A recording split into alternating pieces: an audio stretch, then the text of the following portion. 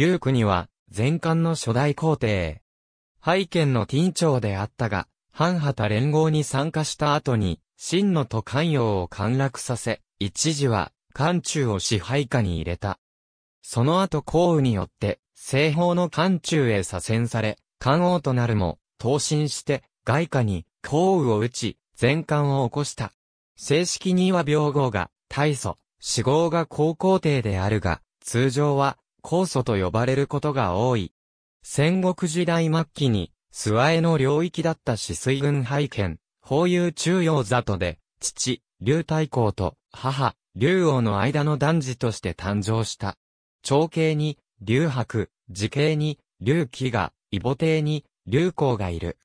式によれば、竜王が竜宝を出産する前、沢の川で歌種をしていると、夢の中で神に会い、竜太公は、竜王の上に竜が乗っている姿を見た。その夢の後に、竜宝が生まれたという。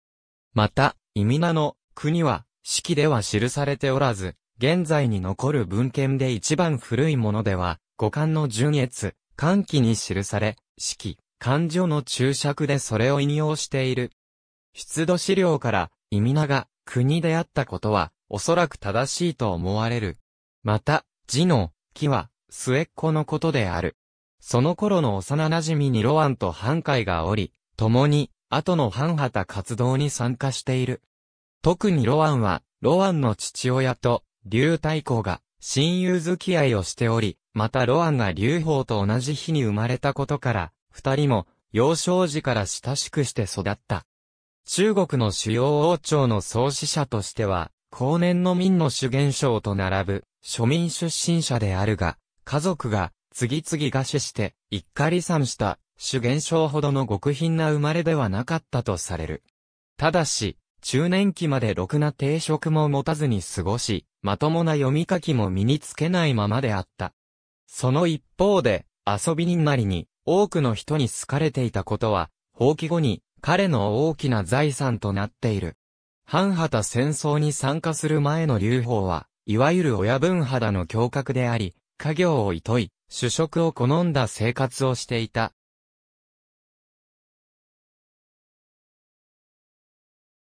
縁あって、廃東に位置する死水のテ町に着いたが、任務に忠実な官人ではなかった。廃の役人の中に後に劉邦の破業を助けることになる将家と、宋さんもいたが、彼らもこの時期には劉邦を高くは評価していなかったようである。しかしなぜか人望のある性質であり、仕事で失敗しても周囲が擁護し、劉邦が飲み屋に入れば、自然と人が集まり、満席になるので、この店は、劉邦の付け払いの踏み倒しを黙認していたと伝えられる。また、この人形時代に、超耳の触覚になっていたとも言う。式によればある時、劉邦は夫役で、関陽に行ったが、そこで始皇帝の行列を見て、ああ、大丈夫たるもの、あのようにならなくてはいかんなぁと語ったという。またある時、前後の有力者の旅行が仇討ちを避けて、ハイへとやってきた。名士である、旅行を歓迎する宴が開かれ、商家がこの縁を取り仕切った。ハイの人々はそれぞれ神物に金銭を持参して集まったが、あまりに多くの人が集まったので、商家は、神物が1000銭以下の人は地面に座ってもらおうと提案した。そこへ、劉邦がやってきて、神物を銭1万銭と旅行に伝えた。あまりの金額に驚いた旅行は、慌てて門まで劉邦を迎え、定石につかせた。商家は劉邦が銭など持っていないのを知っていたので、劉邦は前から大風呂敷だが、実際に成し遂げたことは少ないと言ったが、旅行は劉邦を艦隊し、その人相を見込んで、自らの娘を死わせた。これが、旅記事である。妻をめとったものの劉邦は相変わらずの侠客であり、旅記事は、実家の手伝いをし、二人の子供を育てながら、生活していた。式によればある時、旅記事が他の草取りをしていたところ、通りかかった老人が、旅記事の人相が、とても尊いと驚き、息子と娘の顔を見てこれも尊いと驚き、帰ってきた劉邦がこの老人に人相を見てもらうと、奥さんと子供たちの人相が尊いのは、あなたがいるためである。あなたの尊さは言葉にすることができないと言い、劉邦は大いに喜んだという。式には他にもいくつかの、劉邦が天下を取ることが約束されていたとの話を載せている。ただ、それらの逸話の中で劉邦は、赤竜の子であるとする逸話は、漢が、一区の帝朝と称することにつながっている。陳章、五皇の乱と挙兵あるとき、劉邦は、テ長の役目を任ぜられ、妊婦を引き連れて、関陽へ向かっていたが、旗の過酷な労働と刑罰を知っていた妊婦たちは、次々と逃亡した。旗は法も厳しく、妊婦が足りなければ、その引率者が責任を取らされる、とやけになった劉邦は、浴びるように酒を飲んだ上、酔っ払って残ったすべての妊婦を逃がした。そして、行く当てがないと残った妊婦らと共に、小宅へ隠れた。すると噂を聞きつけた者が、古文になりたいと次々と集まり、劉邦は小規模な勢力の頭となった。紀元前209年、陳章、五皇の乱が発生し、反乱軍の勢力が強大になると、敗の権令は、反乱軍に協力するべきか否かで同様、そこに昇華と、宋さんが、旗の役人である、権令が反乱しても誰も従わない。人気のある劉邦を押し立てて、反乱に参加するべきだと吹き込んだ。一旦はこれを受け入れた、権令であったが、劉邦に死者が行った後に考えを翻し、灰の門を閉じて、劉邦を締め出そうとした。劉邦は一計を案じて、絹に書いた手紙を城の中に投げ込んだ。その手紙には、今、この城を必死に守ったところで、諸侯がいずれこの灰を攻め落とすだろう。そうなれば、イの人々にも災いが及ぶことになる。今のうちに、権霊を殺して、頼りになる人物を蝶に立てるべきだと書いてあり、それに答えた、木内の者は、権霊を殺して、劉邦を迎え入れ、長老らは、新たな権霊につくことを求めた。劉邦は最初は、天下は、乱れ、軍友が争っている。自分などを選べば、いっぱい地にまみれることになる。他の人を選ぶべきだと辞退したが、昇華と、総賛までもが劉邦を、権霊に推薦したので、劉邦はこれを受けて、権霊となった。以後、劉邦は、廃公と呼ばれるようになる。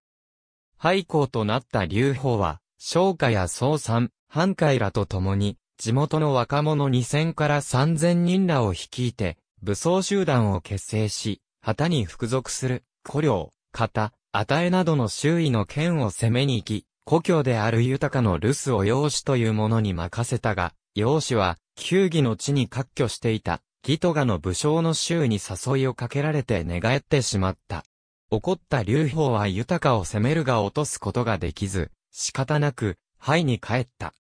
当時、陳将は、旗の召喚の軍に敗れて逃れたところを殺されており、その参加に属した戦国時代の諏訪江の皇族の末裔である、慶駒という人物が、同じく、陳将軍の君と、旗義美という者に、陳将に代わる王に擁立されていた。劉邦は豊かを落とすために、もっと兵力が必要だと考えて、慶駒に兵を借りに行った。紀元前208年、劉邦は、君と共に秦軍と戦うが、敗れて引き上げ、新たに、を攻めて、これを落とし、ここにいた、五六千の兵を合わせ、さらにか優を落とし、この兵力をもって再び糸を攻めて、やっとの思いで豊かを陥落させた。養子は、蝶の武神を頼って逃れた。豊かを取り返した、劉邦であったが、この間に豊などとは比べ物にならないほどに、重要なものを手に入れていた。長領である。長領は始皇帝暗殺に失敗した後に、旧館の地で兵士を集めて旗と戦おうとしていたが、それに失敗して、止めの敬語間のところへ従属しようと思っていた。長領自身も自らの指導者としての資質の不足を自覚しており、自らの標法を様々な人物に説いていたが、誰もそれを聞こうとはしなかった。ところが劉邦は、出会うなり熱心に長領に言葉を聞き入り、長領はこれに感激して、廃校はほとんど天性の英傑だと劉邦のことを褒めたたえた。これ以降、長領は劉邦の作戦のほとんどを立案し、長領の言葉を劉邦はほとんど無条件に聞き入れ、ついには天下をつかむことになる。劉邦と長領の関係は、君臣関係の理想として、後世の人に仰ぎ見られることになる。その頃、慶吾馬は公領によって殺され、公領が新たな反秦軍の統領となって、旧祖の海王の孫を連れてきて、宋王の位につけ、祖父と同じく、海王と呼ばせた。劉邦は、公領の勢力下に入り、公領の甥である公羽と共に秦軍と戦う。公領は何度となく、秦軍を破ったが、それと共に傲慢に傾いて、秦軍を侮るようになり、召喚軍の前に戦死した。劉邦たちは、遠征先から軍を戻し、新たに、反秦軍の根拠地に定められた北条へと集結した。公領を殺した召喚は軍を北へ転じて、趙を攻め、趙王の居城巨力を包囲したため、趙は諏訪へ救援を求めてきていた。そこで海王は、葬儀、項羽、半蔵を将軍として、主力軍を派遣し、趙にいる秦軍を破った後、関陽へと攻め込ませようとし、その一方で劉邦を別動隊として西回りに関陽をつかせようとした。そして、海王は一番先に漢中に入った者をその地の王とするだろうと約束した。趙へ向かった項羽は途中で行軍を意図的に遅らせていた葬儀を殺して自ら総指揮官となり、溶かした後に船をすべて沈めて3日分の兵糧を配ると、残りの物資を破棄し、退路を断って、兵士たちを死に物狂いで戦わせるという凄まじい、戦術で秦軍を撃破、一気にその有名を高めた。しかしその後、関与へ進軍する途中で、秦の捕虜20万を生き埋めにするという、これも、凄まじい虐殺を行う。このことは、後の蘇韓戦争でも、降雨の悪評として、人々の心に残り、多大な影響をもたらすことになる。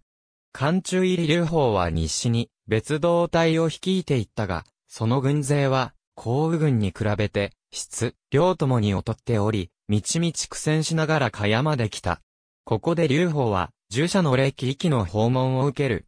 劉邦は大の従者嫌いで、歴域に対しても、足を投げ出してその足を女たちに表せながら、面会するという態度であった。しかし、これを、歴域が一括すると、劉邦は、ブレを浴びて、歴域の進言を聞いた。歴域は、近くの陳留は、交通の要所であり、秦軍の食料も蓄えられているのでこれを得るべきで、ある。上主は、反秦軍を脅威に思っているが、民衆からの復讐を恐れているので、フルに触れない。降っても、身分を保証すると約束していただければ、基準させる、よう説得すると言った。劉邦はこれを採用し、陳留の権令は、説得に応じて不利、交通の要所と大量の兵糧を無血で手に入れた。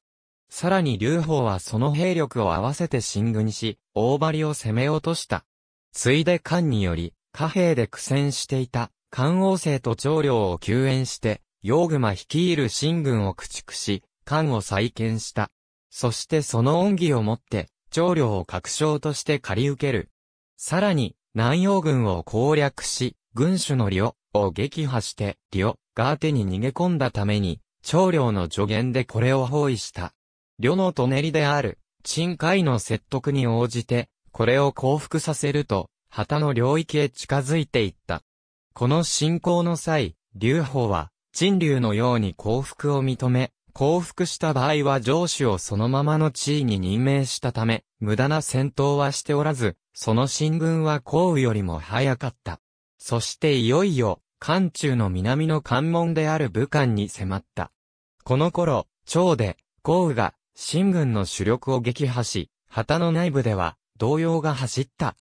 始皇帝の死後、二世皇帝を区別として、宦官長江が先見を振るっていたが、この敗戦がバレれば自分が責任を取らされると考え、二世皇帝を殺し、紀元前207年になってから劉邦に対して、漢中を二分して王になろうという密書を送ってきた。劉邦はこれを偽物だと思い、自らの軍をもって、武漢の首相を、長領の策によって、騙し討ちにし、これを突破した。この後、長江は王に立てようとしていた、声栄におびき出されて逆に殺された。続く高志関は、旗の最後の砦のため決死の兵が守っていたが、首相が、商人出身であり計算高いことを利用した、長領の策により、大量の旗を重ねて、大軍のように見せかけておいて、降るように誘った。この策は成功し、首相は、降ることを約束したが、長領は兵たちは決死なので降ることはないと察しており、あくまで油断させるためのものだった。劉邦の軍は砦に入るや、稲や、守備隊の不意をついて攻めかかって制圧し、高志関を突破した。こうして、劉邦軍は、漢中に入る。もはや阻むものはなく、秦と関陽は目前となった。旗王子衛は、波城にまで迫っていた。劉邦のところへ白装束で首に紐をかけた姿で現れ、皇帝の証である玉璽などを差し出して降伏した。部下の間には、声を殺してしまうべきだという声が高かったが、劉邦はこれを許した。関陽に入場した劉邦は、宮殿の中の女と財宝に目がくらみ、ここに泊まって楽しみたいと思ったが、半海と長領に諌められ、波城へ引き上げた。田舎の遊び人だった劉邦にとって、関陽の財宝と高級の女たちは極楽にさえ、思われただろうが、部下に諌められると一切手を出さなかった。こうした還元を聞き入れる劉邦の度量と配下への信頼は、降雨と対照的であり、その後の天下統一にも非常に大きな作用をもたらすことになる。ちなみにこの時、昇華は旗の文書殿に入って法令などの書物をすべて持ち帰っている。これがその後の漢王朝の法の制定などに役立ったと言われている。波城に引き上げた劉邦は、この地に漢中の不老を集めて法三章を宣伝する。これは、旗の万般司祭に及ぶ上に、苛烈な法律を、人を殺せば死刑。人を傷つければ処罰。物を盗めば、処罰の三条の身に改めたものである。この施策に、漢中の民は歓喜し、牛などを献上しようとしたが、劉邦はこれを断った上で、我が軍の食料が十分だから断るのではない。民に出させるに忍びないのだと言った。これを聞いた民衆の劉邦人気は、さらに大きく高まり、劉邦が王にならなかったらどうしようと話し合うほどになった。後世、法三章は、簡便な法律を表す方言となっている。その頃、東から降雨が漢中に向かって進撃してきていた。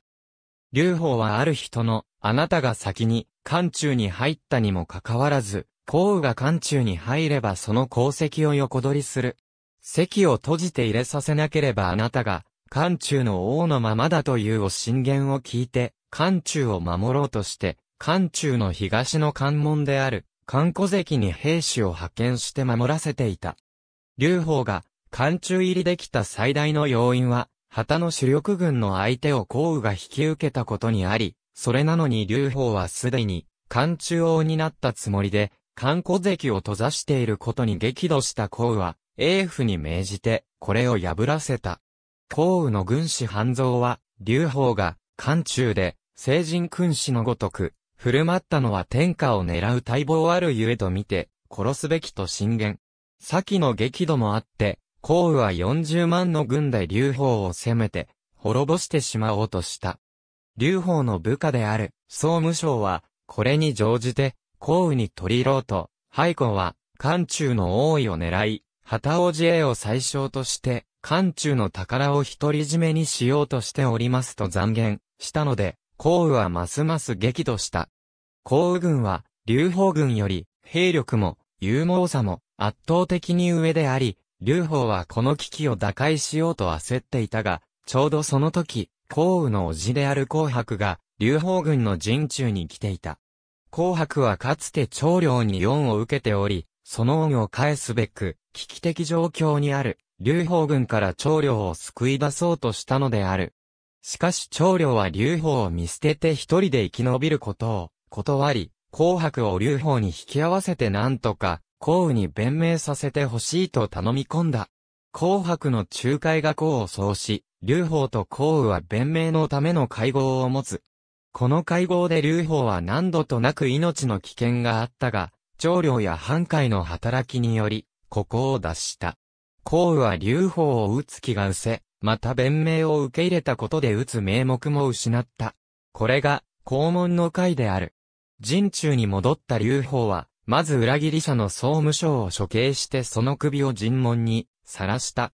その後、項羽は、関陽に入り、降伏した、小英ら新王一族や管理四千人を皆殺しにし、宝物を持ち帰り、華麗な宮殿を焼き払い、さらに始皇帝の墓を暴いて、宝物を持ち出している。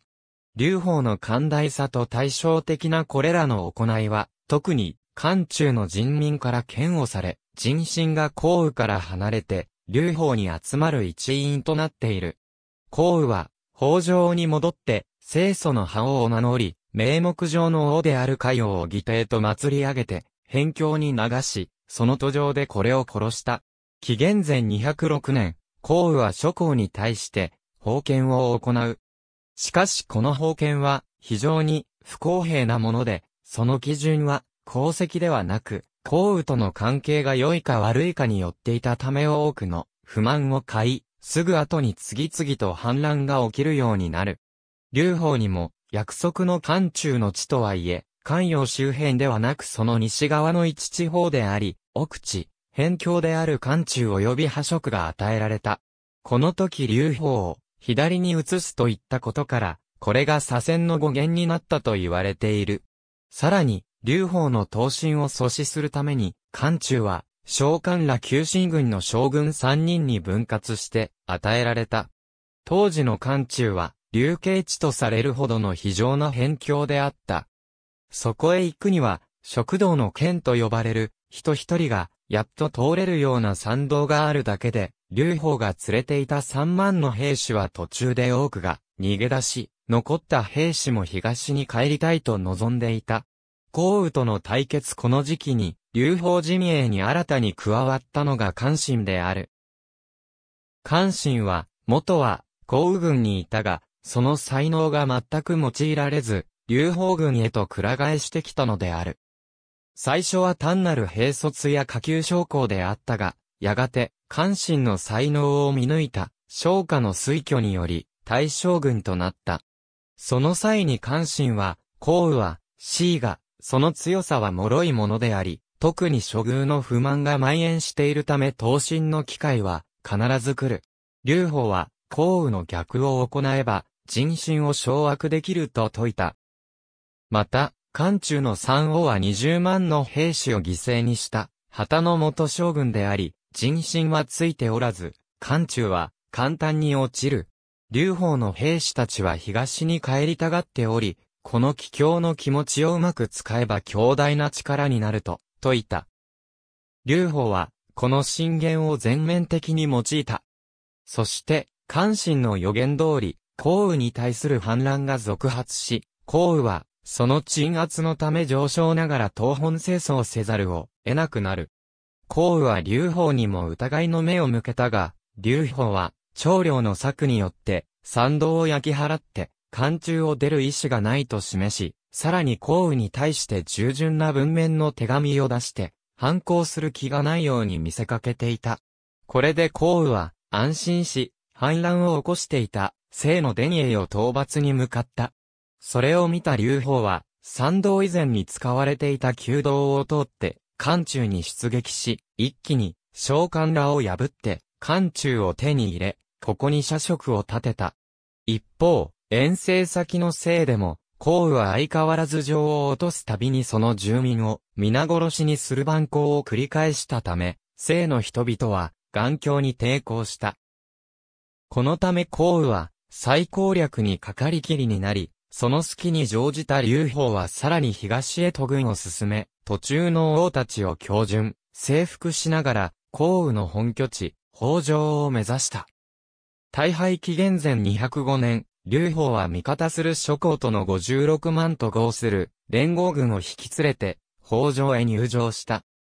入場した官軍は、勝利に浮かれてしまい、日夜城内で宴会を開き、女を追いかけ回すというありさまとなった。一方、北条の陥落を聞いた項羽は、自軍から三万の精鋭を選んで急いで引き返し、油断しきっていた官軍を散々に打ち破った。この時の官軍の死者は10万に上るとされ、川が死体のためにせき止められたという。劉邦は慌てて脱出したが、劉太公と呂吉寺が祖軍の捕虜となってしまった。この大敗で、それまで劉邦に味方していた諸侯は一斉に諏訪へになびいた。劉邦は、息子の劉英と娘と一緒に馬車に乗り、過去映が御者となって祖軍から必死に逃げていた。途中で追いつかれそうになったので、劉邦は車を軽くするために二人の子供を突き落とした。慌てて、過去映画二人を拾ってきたが劉邦はその後も落とし続け、その度に過去映画拾ってきた。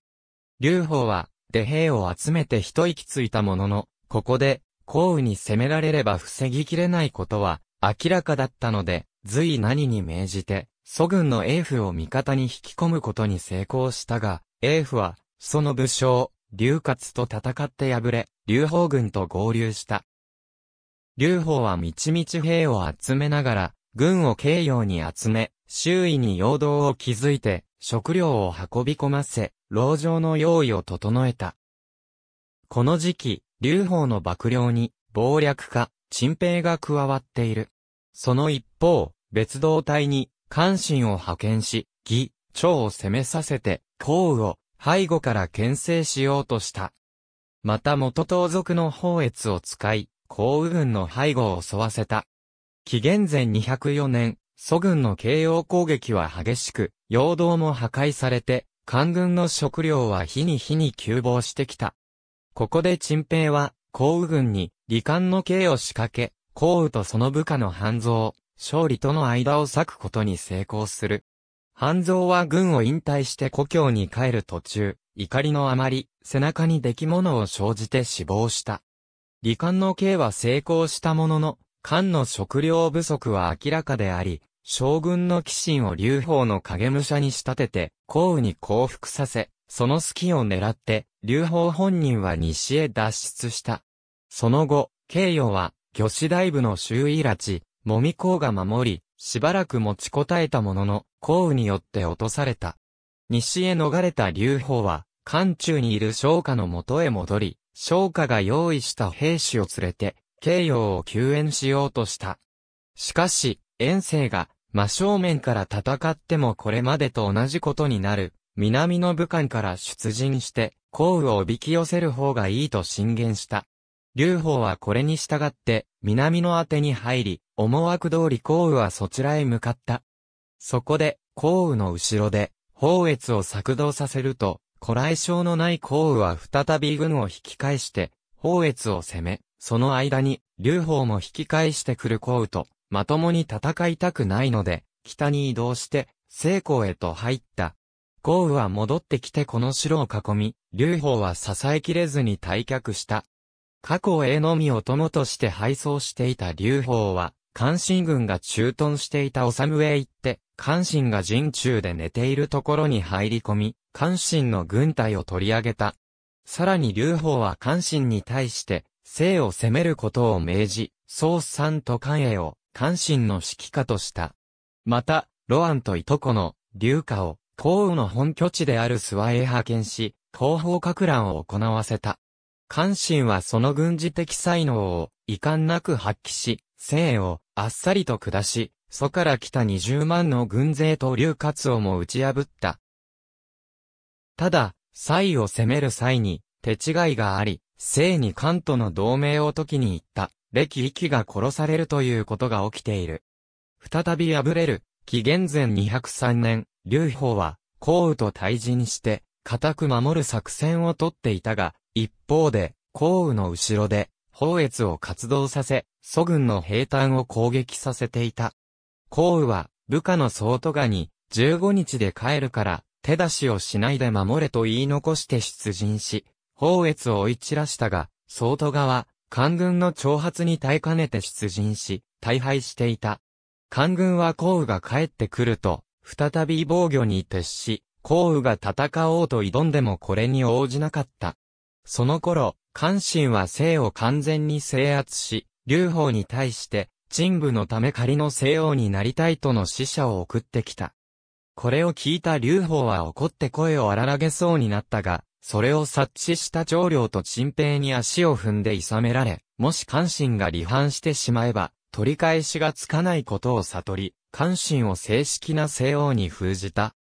関祖領軍は長い間退治を続け、痺れを切らした項羽は捕虜になっていた竜太鼓を引き出して大きな釜に湯を沸かし、父親を煮殺されたくなければ降伏しろと迫ったが、劉邦はかつて、項羽と義兄弟のちぎりを結んでいたことを持ち出して、お前にとっても父親になるはずだから殺したら、煮汁をくれとやり返した。次に項羽は、二人で一騎打ちをして、決着をつけようと言ったが、劉邦は笑って、これを受けなかった。そこで項羽は、石弓のうまいものを伏兵にして、劉邦を狙撃させ、矢の一本が胸に命中した劉邦は、大怪我をした。これを、味方が知れば全軍が崩壊する危険があると考え、劉邦はとっさに足をさすり、やつめ、俺の指に当ておったと言った。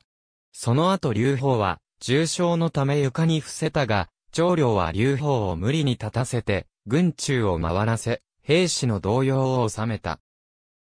一方、宝越の後方格乱によって、祖軍の食料は少なくなっていた。もはや男も諏訪へも疲れ果て、天下を半分に分けることを決めて講和した。この時、劉太后と呂吉寺は、劉邦の下に戻ってきている。項羽は東へ引き上げ、劉邦も西へ引き上げようとしていたが、長領と陳平は退却する項羽の軍を攻めるよう、進言した。もしここで両軍が引き上げれば祖軍は再び勢いを取り戻し、官軍は、もはやこれに対抗できないだろうというのである。劉邦はこれを入れて、項羽軍の後方を襲った。劉邦は同時に、関心と宝越に対しても、兵士を連れて、降雨攻撃に参加するように要請したが、どちらも来なかった。劉邦が、恩賞の約束をしなかったからである。長領に、それを指摘された劉邦は思い切って関心と宝越に、大きな領地の約束をし、関心軍と宝越軍を加えた、劉邦軍は一気に膨張した。項羽に対して、有利な立場に立ったことで、その他の諸侯の軍も雪崩を打って、劉邦に味方し、ついに、項羽を外貨に追い詰めた。追い詰めはしたものの、やはり、項羽と、蘇兵は勇猛であり、官軍は連日大きな犠牲を出した。このため、長領と関心は無理に攻めず包囲しての兵糧攻めを行い、祖軍を崩壊させた。項羽は残った少数の兵を伴い包囲網を突破したが、諏訪へ逃亡することを潔しとせず、途中で漢の大軍と戦って自害した。ついに、項羽を倒した劉邦は、未だ抵抗していた労を下し、残党たちの心を鎮めるために、項羽を熱く弔った。紀元前202年、劉邦は、軍神の勧めを受けて、ついに皇帝に即位した。論功交渉をした際、戦場の功のある宋さんを第一に押す声が、多かったが、劉邦はそれを退けて、昇華を第一とした。常に敗れ続けた劉邦は、昇華が常に用意してくれた兵員と物資がなければ、とっくの昔に滅び去っていたことを知っていたのである。また、関心を相応に、宝越を、領王に封じた。長領にも三万個の領地を与えようとしたが、長領はこれを断った。また、劉邦を裏切って、義都賀につくなど、挙兵時から邪魔をし続けながら、最後はまた抜け抜けと漢中陣営に加わり、こうこそあれど劉邦が殺したいほど憎んでいた容姿を、速やかに、重方向にした。これは、論功交渉で不平を招いて反乱が起きないための、長領の策で、他の諸侯に、あの容姿が称せられたのだから、自分にもちゃんとした恩賞が下るだろうと、安心させる効果があった。劉邦は最初落葉を首都にしようと考えたが、劉隆氏が長安を首都にする利点を解き、長領もその意見に賛同すると、すぐさま長安に行幸し首都に定めた。劉邦が家臣たちと主演を行っていた時、劉邦は、皆、わしが天下を勝ち取り、項羽が敗れた理由を言ってみようと言った。これに答えて後期と王領が、陛下は傲慢で人を侮ります。これに対して項羽は、人事で人を慈しみます。しかし陛下は、功績があった者には惜しみなく、領地を与え、天下の人々と利益を分かち合います。これに対して項羽は賢者を妬み、功績のある者に恩賞を与えようとしませんでした。これが天下を失った理由と存じますと答えた。